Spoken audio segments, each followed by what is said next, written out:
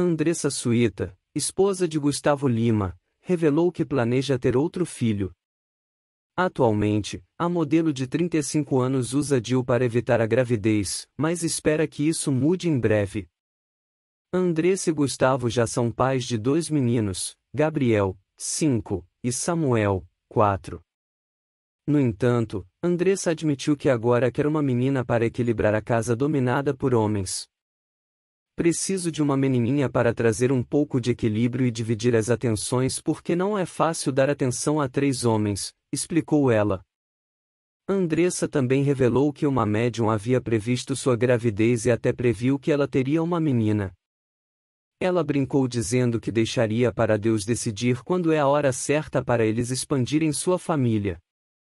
No que diz respeito ao cuidado das crianças, Andressa decidiu não contratar uma babá para ajudar com as crianças. Em vez disso, ela contou com a mãe para ajudá-la com os meninos quando eles eram mais novos.